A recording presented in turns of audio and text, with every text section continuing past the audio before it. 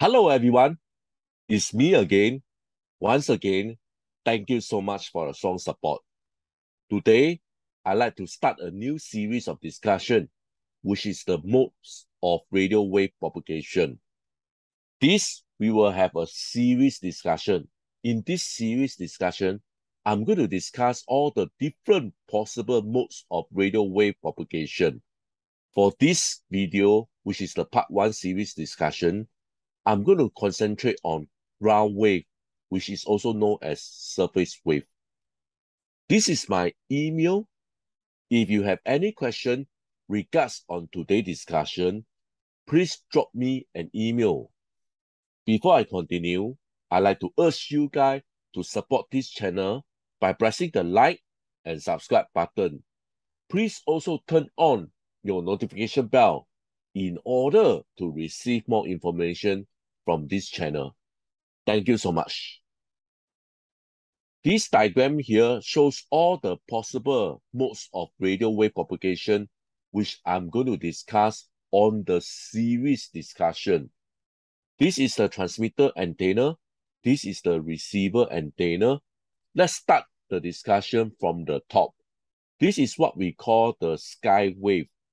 From here, you can see that the transmitter antenna intent is to shoot the electromagnetic wave aim towards the sky and the electromagnetic wave propagate hit the atmosphere reflected back and finally come back to the earth and received by the receiver antenna so this is what we call the sky wave. Next will be the tropospheric propagation. From here, you can see that instead of direct line of sight, the path of electromagnetic wave actually bends slightly because of the different density of the atmosphere. And this is what we call tropospheric propagation. Next, we have this direct line of sight this direct line of sight is the shortest distance between the transmitter and the receiver. In short, you can see that this is a direct path from the transmitter to the receiver. That's also another example, which is also called the direct wave from the satellite all the way to the receiver antenna without any reflection, without any distortion of the path. Basically, it's one straight line so this is what we call the direct line of sight wave. Next, we have this ground reflected wave. It's almost quite similar with sky wave. Basically, the refract mechanism will be from the earth. Can you see over here? The electromagnetic wave hit the earth ground and reflected back all the way to the receiver antenna. And this is what we are going to discuss today. We are going to discuss on the surface wave, you can see over here, the transmitter electromagnetic wave actually propagate along the Earth's surface. The Earth's surface become the characteristics to carry the electromagnetic wave from the transmitter to the receiver. So this is our emphasis for this video on the surface wave.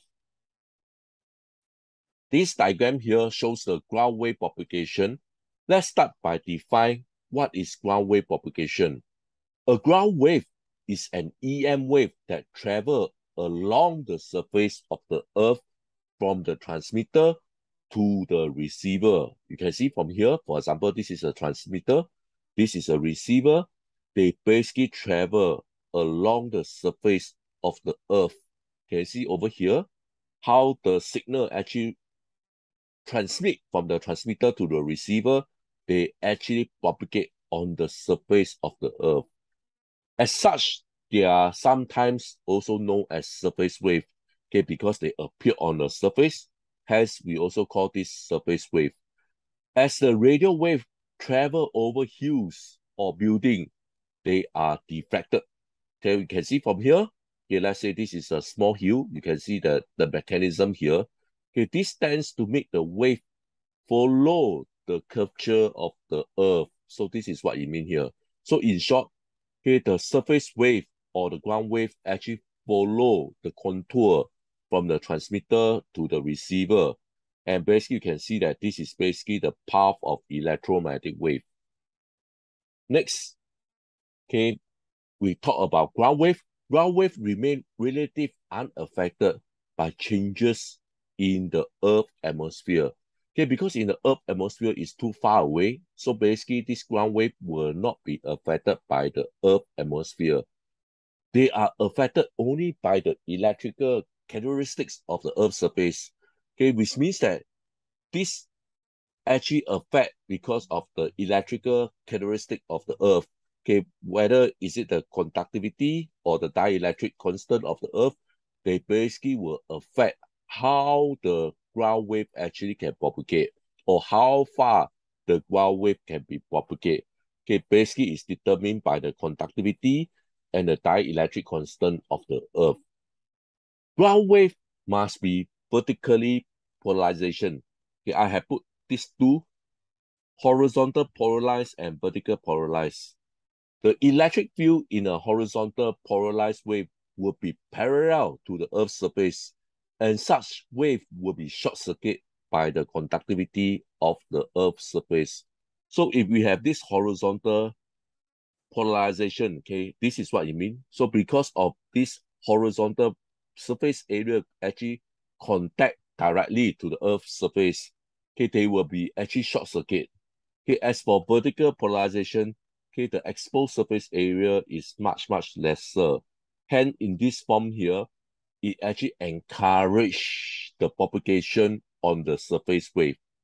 Hence, for ground wave or surface wave, they must be vertically polarization. So this is what it means. With ground wave, the changing electric field will induce voltage in the Earth's surface, which will cause current to flow in the Earth's surface.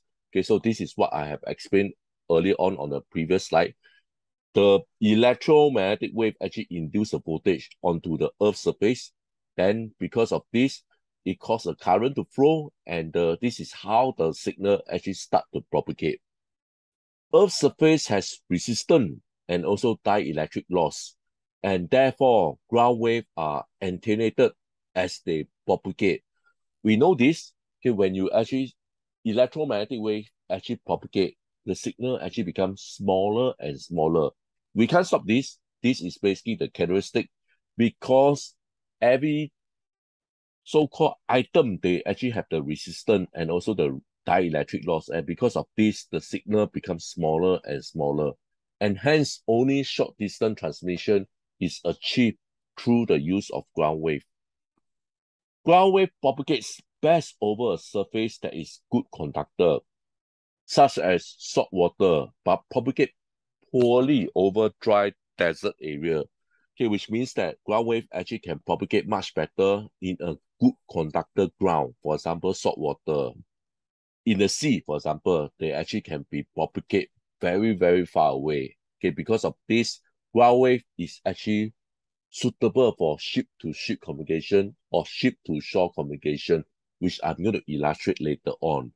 However, ground wave or surface wave, they probably cannot propagate well in a dry desert area.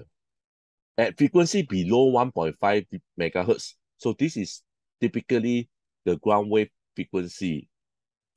Ground wave provide the best coverage. Okay, so basically ground wave has the best coverage if the frequency is below 1.5 megahertz. This is because ground wave loss increase rapidly with increasing frequency. The higher the frequency, the higher the loss. So therefore, ground wave propagation does not actually transmit at a high frequency. Okay, this is what I have told you earlier. Okay, because in the sea typically is salt water, which is a good conductor.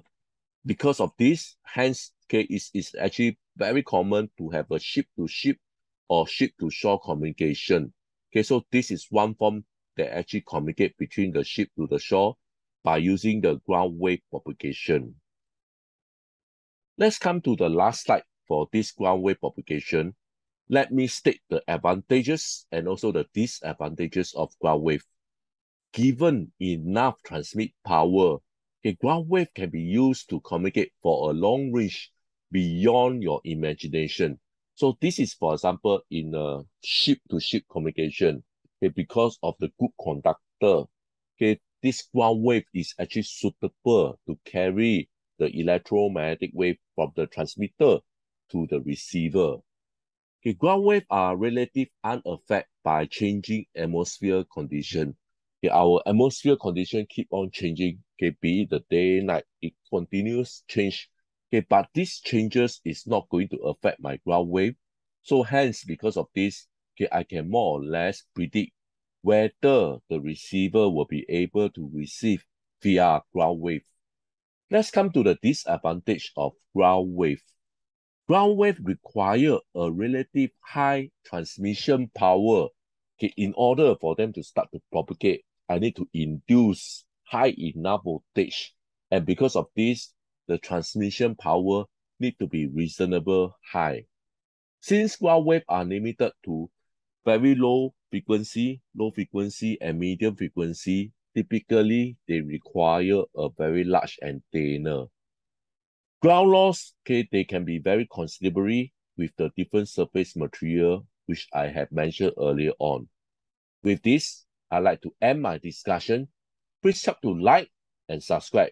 Once again, thank you so much for the strong support. See you guys.